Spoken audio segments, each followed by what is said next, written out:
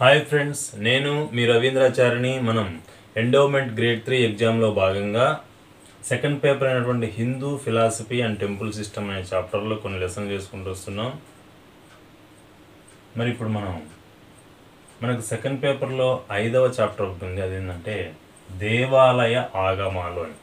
So ఈ topic కూడా మన యొక్క లెస్ మన యొక్క మెటీరియల్లో ఉంది కాబట్టి మరి ఇప్పుడు మనం ఈ యొక్క ఆగమ శాస్త్రం గురించి ఈ లెసన్లో తెలుసుకుందాం. మరి ఆగమ శాస్త్రం అంటే ఏంటి? మరి ఈ యొక్క భగవంతుని విగ్రహ రూపంలో కానీ లేకుంటే ఒక మూర్తిత్వ రూపంలో కానీ మనం ఉపాసించేటువంటి విధానాన్నే ఏమంటామంటే ఆగమము అంటాం. మరి ఈ ఆగమాల యొక్క సంకలనమే ఈ యొక్క ఆగమ శాస్త్రం. మరి ముఖ్యంగా మనం ఏమైనా గుర్తుపెట్టుకోవాలంటే ఈ యొక్క దేవాలయ పూజలకు మరియు ఉత్సవాలకు సంబంధించినటువంటి శాస్త్రమే ఆగమ శాస్త్రం అని మనం ముఖ్యంగా గుర్తుపెట్టుకోవాలి. రైట్. మరి ఈ ఆగమ శాస్త్రంలో అనేది ఎలా వచ్చిందనే విషయం కూడా మనం తెలుసుకుందాం. మనకు మొట్టమొదటగా వేదాలు అనేటువంటివి ఉన్నాయి. మన హిందూ మతానికి ప్రామాణికం ఏంటంటే వేదాలు. రైట్ మరి యొక్క వేదాలకే ఆగమాలు నిగమాలు అనేటువంటి పేర్లు కూడా ఉన్నాయి. మరి ఫస్ట్ మనం నిగమము అనేటువంటివి ఏంటంటే నిగమము అంటే ఓన్లీ వేదాలు మాత్రమే ఉంటాయి అందులో. మరి అందులో అమూర్తారాధనలు అనేటువంటివి ఉంటాయి. అంటే విగ్రహాల రూపంలో అలా వాళ్ళని పూజించే వాళ్ళు కాదు. దానికి ఉదాహరణ ఏంటంటే యజ్ఞయాగాదులు. మరి యజ్ఞయాగాదుల్లో ఆ యజ్ఞం చుట్టూ కూర్చుంటారు కానీ అక్కడ మూర్తిత్వమైనటువంటి భగవంతుని రూపం ఏమి ఉండదు. అగ్ని రూపంలో మన అగ్నిదేవుణ్ణి అనుకుంటూ మనం శుద్ధిస్తుంటాము సో ఇటువంటి విషయాలు నిగమాల కిందికి వస్తాయి. రైట్ నెక్స్ట్ ఆగమాలు. మరి ఈ ఆగమాల్లో ఏముంటుందంటే వేదాలతో పాటు మంత్ర శా మంత్ర శాస్త్రం కూడా ఉంటుంది ఈ యొక్క ఆగమాలలో అదే కాకుండా మరి ఇందులో ముఖ్యంగా మనకు విగ్రహారాధన అనేది ఉంటుంది ఈ యొక్క ఆగమాలలో రైట్. మరి ఈ యొక్క విగ్రహారాధన ఉంటుంది. మరి దాని తర్వాత మళ్ళీ ఆగమాలలో ఎన్ని రకాలు ఉన్నాయి మన హిందూ మతంలో ఉన్నటువంటి ఆగమాలలో ఎన్ని రకములు ఉన్నాయి అనే విషయం కూడా తెలుసుకుందాం.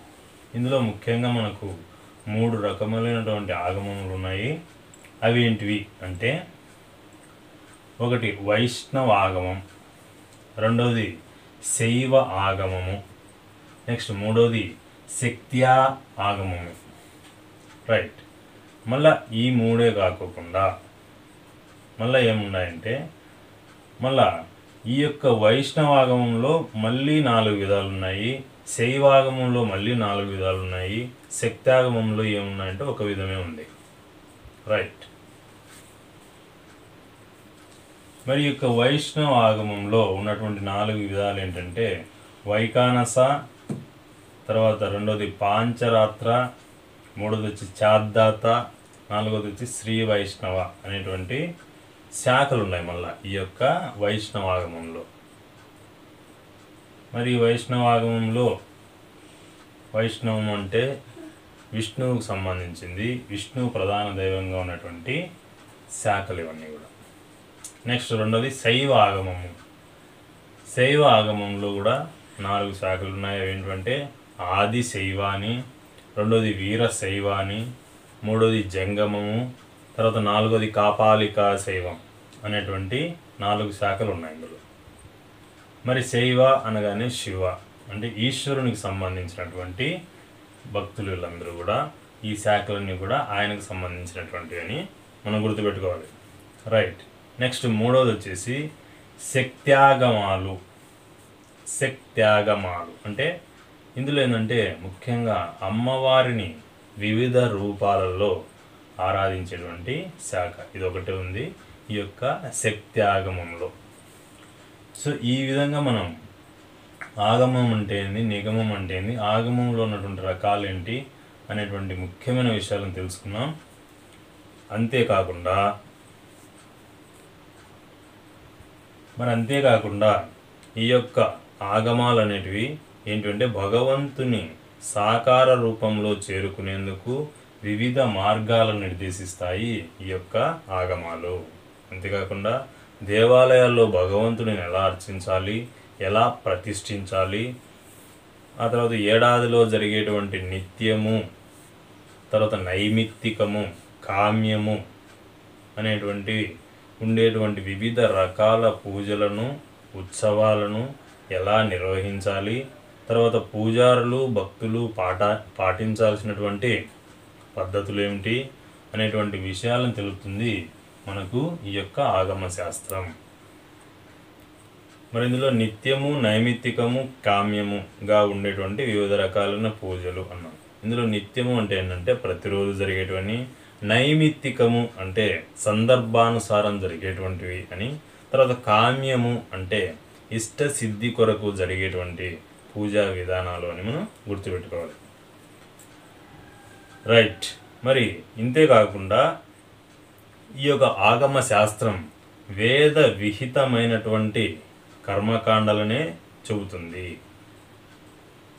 రైట్ మరి ఈ కర్మకాండలు ఇవన్నీ కూడా వేద విహితమైనటువంటివి. వీటిని గురించి కూడా చెప్తుంది. అయితే కాలక్రమంలో వేదాలలో చెప్పబడినటువంటి అంశాలు కూడా ఆగమాలలో చోటు చేసుకున్నాయి.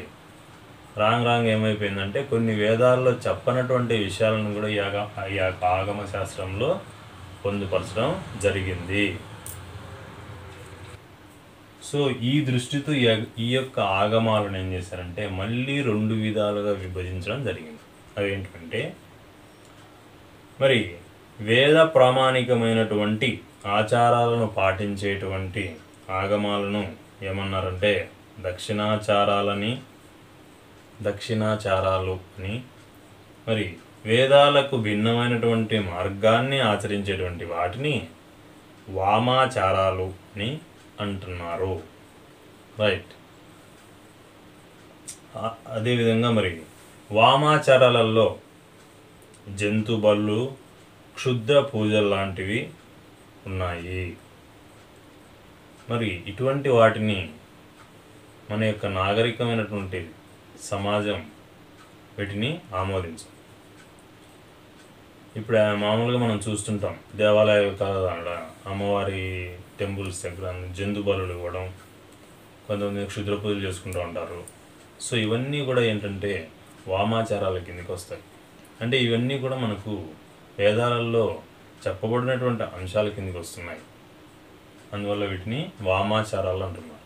మరి వేదాలలో చెప్పిన వాటినే మనం పాటిస్తుంటే వాటిని ఏమంటున్నామంటే దక్షిణాచారములు అని అంటున్నాం. మరి ఇక్కడ మనం పేర్కొన్నటువంటి ఆగమ రకాలైనటువంటి వైష్ణవాగమం కానీ శైవామ శైవ ఆగమం కానీ తర్వాత మూడోదైన శక్తి ఆగమం కానీ ఇవన్నీ కూడా దేని కిందకి వస్తాయి అనేది ఇక్కడ మనకు గుర్తుపెట్టుకోవాలి. ఇవన్నీ కూడా దక్షిణాచారంలోకే వస్తాయి. ఎందుకంటే ఇవన్నీ కూడా వేదాలలో చెప్పబడిన దానికి మంత్రశాస్త్రంతో కూడినటువంటి విషయాలు కాబట్టి ఇవి వేటి కిందకి వస్తాయని అడుగుతారు. అప్పుడు మన దక్షిణాచారంలోకి వస్తాయి అని మనం ఎగ్జామ్ పాయింట్ ఆఫ్ వ్యూలో గుర్తుపెట్టుకోవాలి. రైట్